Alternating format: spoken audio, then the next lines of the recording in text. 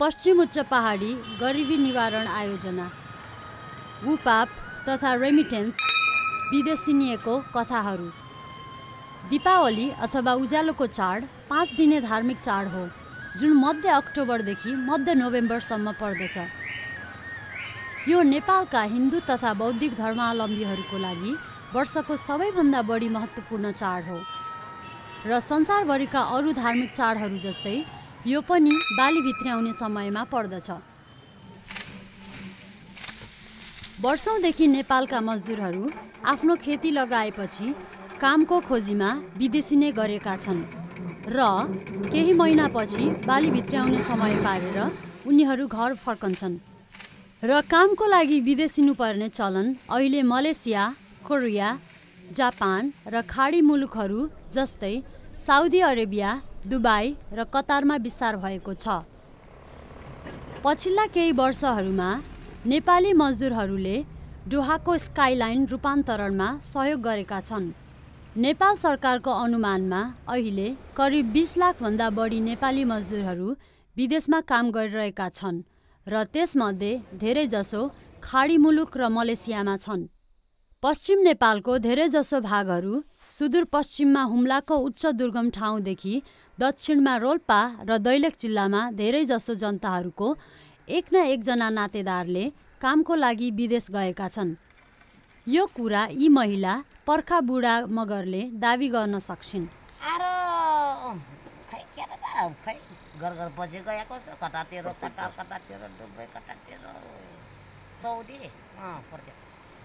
सायद यो कुनै आश्चर्यजनक कुरा होइन।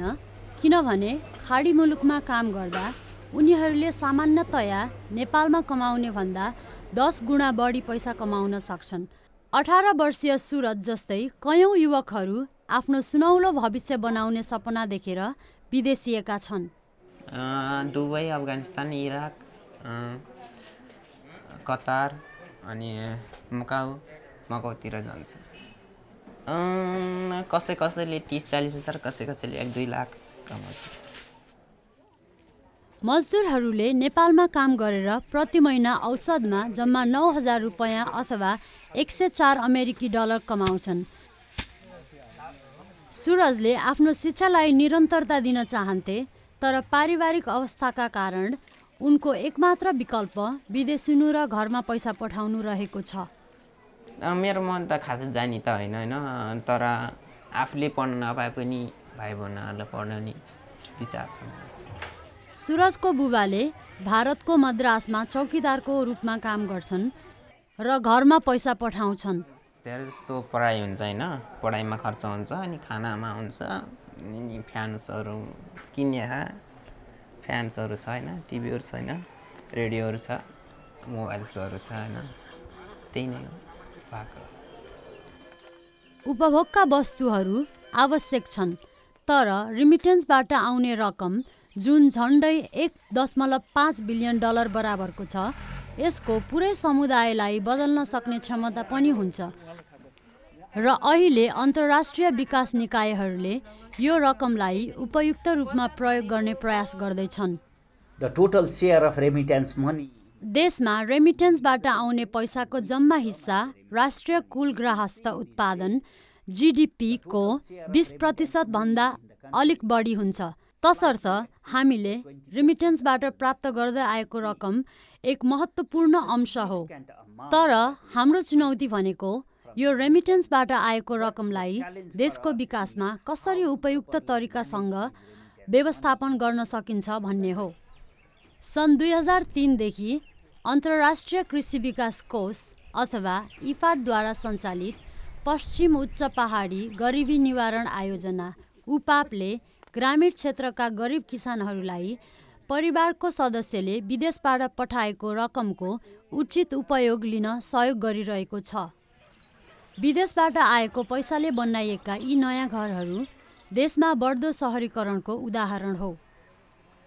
यदि वैदेशिक रोजगारमा गएको छ भने उसको परिवारहरू सामान्यतया गाउँबाट अलिक र सदरमुकाममा आउने बच्चा बच्चीलाई राम्रो स्कुलमा पढाउने गाउँको भन्दा शिक्षा दीक्षा दिने त्यसमा चाहिँ खर्च राष्ट्रिय रूपमा हेर्दा त्यो देखिन्छ। र अर्को फाइदा यो छ कि किसानहरू विदेशबाट फर्कँदा कृषि सम्बन्धी नयाँ ज्ञान वा नयाँ व्यावसायिक तालिम सिकेर पनि आउँछन्। तितेन्द्र कार्कीले दुबई कतार र भारतको होटेलहरूमा काम गर्दा व्यवसाय सिके। अहिले उनले घरमा एउटा सफल कुखुरा पालन व्यवसाय स्थापना गरेका छन् र उनको अब फेरि कहिले विदेश फर्कने मनसाय छैन। कुनै महिना पचास हजार कुनै महिना साठी हजार कुनै महिना बिस तिस हजार पनि हुन्छ। त्यो दिनभरि म त्यसमा लागिरहनु परे होइन त्यो सँगसँगै मैले एक्लै हेर्नु पनि परेन। घर परिवारलाई नै काम भइरह। अनि एकजना मैले अझै रोजगार पनि दिएको छु त्यो एकजना काम गर्ने भाइलाई पनि राखेको छु। त्यसले गर्दा राम्रो छ अहिले मलाई। रोल्पा जिल्लाको गार्पा गाउँमा उपापका सदस्यहरूले गाउँलेहरूलाई समूह बनाउन प्रोत्साहन गरेका छन् र उनीहरूलाई व्यवसाय सम्बन्धी तालिम दिएका छन्। अहिले यी गाउँलेहरूले रेमिटेन्सबाट आएको रकमबाट फाइदा लिन सक्छन्। शेरबहादुर थापा साउदी अरेबियामा धेरै वर्ष काम गरेर गाउँ फर्किएका छन्। यद्यपि अरू धेरैको अनुभव जस्तै उनको पनि विदेश यात्रा आशा गरे जस्तो सफल भएन र उनले पनि विदेश जानको लागि ऋण लिएका थिए। अब यहाँबाट आफूले अब साउको ऋण लिएर विदेश गइया थियो। अब त्यहाँ जग्गा त्यो ऋणमा डुबिएपछि मान्छेले अब त्यो जग्गा त्यही ऋणले कमाइले पनि यता उसले पनि तिर्न सक्छ जस्तो जस्तो अवस्थामा त बिग्रिएपछि त सब्रिएपछि त कमाइ हुने पनि हुन्छ हुनसक्छ कसै कसैलाई। तर हाम्रो चाहिँ कमाइ धेरै कम थियो। त्यो त्यो छ सयमा नि नेपाली एघार साढे एघार हजार बाह्र हजारसम्म कमाइ हुन्थ्यो। ओभर टाइम लाग्दैन थियो खासै। घरमा पैसाहरू साथीहरूको रोटेसन मिलाएर मिलाएर पठाउँथ्यौँ। यस्तो पार्टनर सिस्टम गरेर घरमा पैसा पठाउँथ्यौँ।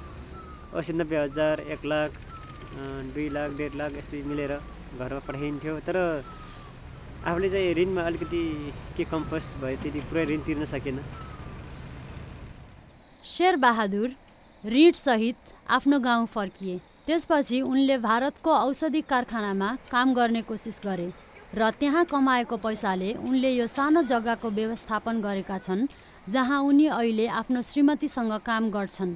पानीको अब फोहोर पानीहरू बगेर गइरहेको थियो हाम्रो यो खानेपानी मुहानको धाराबाट। मैले यो योजनाहरू यसरी थाहा सोचेँ कि यो तरकारी खेती नै गर्छु आफ्नो देशमा आफ्नो जन्म मोरे भूमि ठाउँमा बसेर नै आफ्नो तरकारी व्यवसाय गरेर गर्नु पऱ्यो शेरबहादुर गाउँको सामुदायिक संस्थामा आबद्ध छन् र उपाबाट लिएको कृषि तालिमले गर्दा उनले अहिले सफलतापूर्वक तरकारी खेती गर्दैछन् र आफूले कमाएको पैसाले उनी अहिले आफ्नो छोरीको स्कुल फी तिर्न सक्छन्। सायद म जाँदिनँ होला जस्तो लाग्छ त्यो विदेशतिर। झट्टै फर्किँदा होला जस्तो लाग्छ। अहिले घरमा कोही सालसम्म तरकारी खेती नै गरेर यही यति मैले ठिक लागिरहेको झन्डै साठी प्रतिशत जवान नागरिकहरू प्रवासिएका भए तापनि शेरबहादुरको गाउँमा दीपावली चाडले पश्चिम नेपालमा समुदायहरू कति मजबुत छन् भन्ने देखाउन सक्छ। गाउँका अधिकांश पुरुषहरू चाड मनाउनको लागि फर्किएका छन् र शेरबहादुर तथा उनका गाउँले साथीहरूको लागि यो दीपावली चाड धेरै रमाइलो भएको छ।